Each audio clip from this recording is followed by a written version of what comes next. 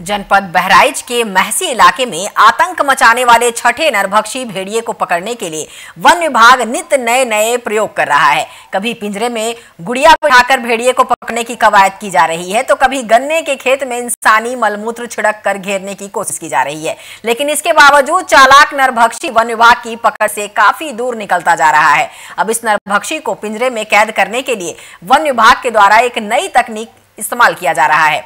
इस भेड़िए को एक स्पीकर के ज़रिए मादा भेड़िए की आवाज़ सुनाई जाएगी। विभाग का मानना है कि इस आवाज़ को सुनकर भेड़िया वन विभाग की जद में आएगा और उसे पकड़ने का प्रयास किया जाएगा। आपको बता दें कि पिछले 10 सितंबर को पांचवा नरभक्षी भेड़िया पिंजरे में कैद हुआ था।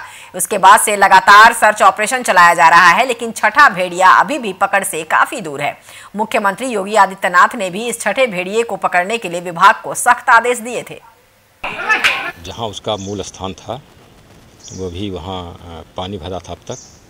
अब थोड़ा बहुत पानी नीचे उतरा है तो वहाँ धसान बहुत अधिक है।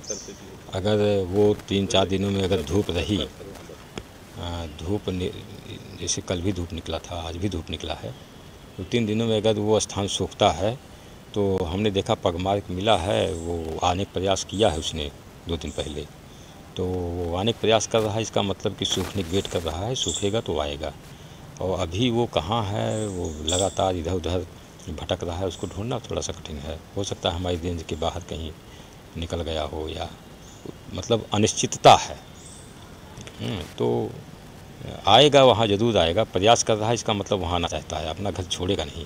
तो जब वहाँ आएगा तो वहाँ हम पकड़ लेंगे उसको। अच्छा वन विभाग ये दावा कर रहा है कि सिर्फ़ एक भेड़िया बाकी रह गया जो नरभक्षी है जबकि तमाम लोग जो है कहीं गन्ने के खेत में दौड़ रहे हैं कहीं धान के खेत में दौड़ रहे हैं और वो कह रहे हैं कि ये भेड़िया जा रहा है। क्या लगता है कि कहीं अफवाहों का बाज़ार गर्म तो नहीं हो रहा है? देखिए लोग अफवाहों का बाज़ार क्या देखिए लोगों के अंदर पहचान नहीं है। लोग यहाँ पर बहुत बहराइच के लोग बड़े सरल हैं बड़े अच्छे हैं बहुत ही मतलब उनका हम तो जाते हैं। आ, हमारा थकान देख कर लोग कहते हैं कि आओ साहब चाय पी लो साहब दी रोटी खा लो। इस तरीके से लोग बहुत अच्छे हैं।